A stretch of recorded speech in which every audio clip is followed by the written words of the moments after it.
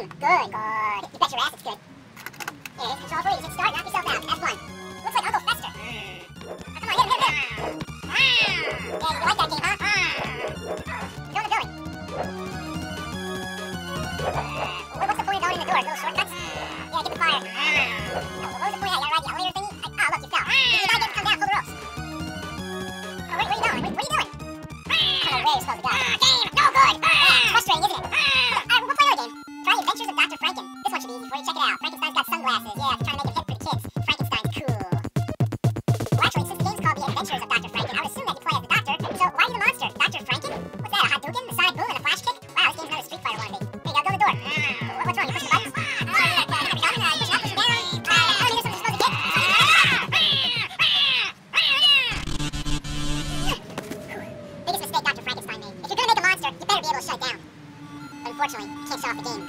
Soul. It's my duty, duty, to play for myself and explain why this game sucks. Because I created a monster, and there's no turning back.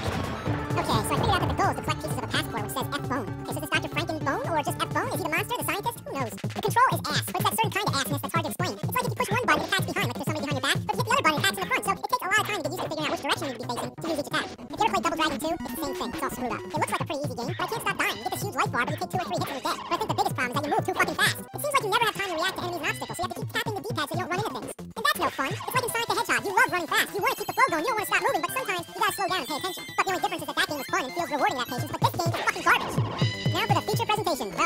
Frankenstein the monster returns, but the title screen just says Frankenstein. What the hell? As the game begins, you'll notice that the graphics are pretty good for NES standards. It reminds you of Castlevania. Essentially, it's the same concept, but instead of Dracula, it's Frankenstein you're going after. You're trying to rescue some girl. I don't know. Who cares? And yeah, the monster in the game is called Frankenstein. I guess nobody ever read the book or saw any of the movies. So basically, you walk right and kill everything in your way. But just to confuse you, there's all these doors which don't have much purpose whatsoever. If you go in, you might find some energy, but some of them, like this one, take you into sewers where you have to fight a dragon, which looks like Barba from Zelda 2. If you beat the dragon, you get some energy, which might make up for whatever energy you lost fighting the dragon. So how about just don't go in there and fight the dragon at all? It only exists to make the game a keep walking right and don't go in any of the doors. Then you get to the stage boss, which is the Reaper, kind of like Dracula from Simon's Quest. But here's the real annoying part. When you beat him, a bird comes, and trust me, you've got to kill it. If you let this bird touch you, it carries you back to the beginning of the stage. So you fucking gotta go through all over again. And you think that the Reaper would still be dead? But no, you have to beat the Reaper again, and the bird, again! What the fuck? Afterwards, you fight some Minotaur thing, which is the real stage boss, and then you get a cutscene which is slow and drawn out. Why can't the text move any faster?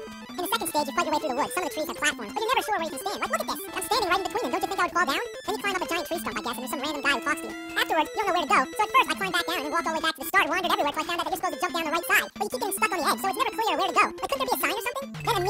The evil he-monster and she-monster of the tree, which is what the guy just told us about. Doesn't it seem cheap that right after he tells us about a certain monster, they appear? It doesn't build up any mystery. Remember the first Zelda game? You knew that you had to fight Ganon. The instruction manual talked about him, characters in the game talked about him, but at the time, nobody knew what Ganon looked like. It created all this suspense. But imagine if they never talked about him until right before you walked into that room. It's like, oh, there's this monster you gotta fight. Oh, there's a monster, fight him. Then you come to the swamp where you have to hop on lily pads. But there's barely enough space to jump from one pad to the next. If you miss, you have to fight a merman underwater. You can't swim back up. The only way to get out is to beat the merman. But there's no real strategy, you just keep attacking him and praying not to get hit. When you die, you expect to start right back at the swamp. But no, it starts you off with the merman. Yeah, you don't get a second chance on the lily pads. You have to fight merman over and over until either you beat him or run out of lives. And you only get a few continues. The only way to pick up where you left off is to enter a password. And then you still have to play the whole stage all over again. Finally, you make it back to the swamp. This time, I'm just gonna try to inch my way to the edge of that lily pad. Oh, fuck, it goes away! Wow, you're really smushed between a bag of piss and a pile of shit. If you jump right away, you'll make it. If you take your time and carefully plan your jump, then the lily pad sinks. And once you fall down, you might as well hit reset because the whole game's over. Look, I'm standing as close to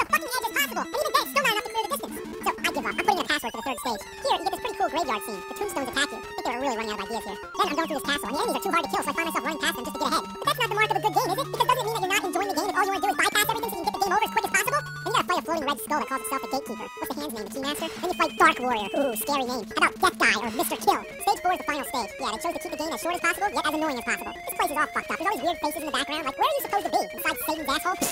Then you start fighting all the classic monsters. First it's the Wolfman, but here he's called the Man Wolf. After you beat him, you get a new weapon, three-way fire. It's kind of like the spread gun in Contra. But guess what? When you get hit only one time, you lose it, which happens only in a matter of seconds. Then you get smothered by sackless balls. Yeah, floating testicles. Then you fight Dracula. Yeah, Dracula's in this game. His arm looks all cockeyed. Looks like a dick. Like his hand is a dickhead. dickhead. So once again, it's like Castlevania. Almost as if Frankenstein and Dracula just switch places. Then you have to swing on vines like Jungle Hunt, but you end up just jumping through the vines and die. So now, just to try again, I gotta type in the fucking password. It's so tedious. I mean, it's not the longest password I've ever seen, but still longer than necessary. But unlike most passwords, if you move the D-pads to the sides, it doesn't move your cursor over to the other side. So say your cursor's on the letter K and you need to move to J. In most games, all you need to do is move the cursor left, and it will show up on J. But here, you can't do that.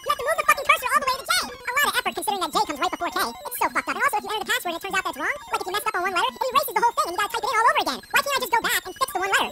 I really hate this password thing in general, because what's the point? You should have unlimited continues. Yeah, because the only reason you should have to play the password is if you turn the game off and want to come back to it later. As long as you're still playing, you're gonna keep playing the same stages over and over and over again, so what's the point of sending you all the way back to the beginning? The earlier stages are the easiest, and those are the stages you end up playing the most. It's the later stages where you need the most practice. It's all about trial and error. Like imagine in high school, you fail out of senior year. What happens? You do senior year again, right? You have to go back and do freshman year again. So bottom line, have unlimited continues. God damn it! Another big piss off about this game is that enemies can kill you even after they're dead.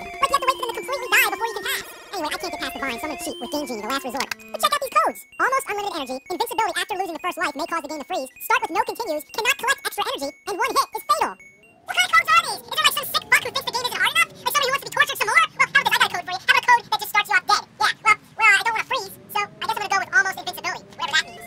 At first, the code works fine, but then I found out that if you collect energy, it takes life away. Not that you would need to collect energy, but it's kind of silly, isn't it? And guess what? Once you get to the vines, you still die. Well, that would have been nice. Why couldn't the code say invincibility except for the vines? Even if you pass the vines, the invincibility goes away, so you know you're fucked. So you fight Frankenstein, his first form's pretty easy, but then he grows into a giant super Frankenstein. Come on! Come on! Come on, you fucking Frankenstein!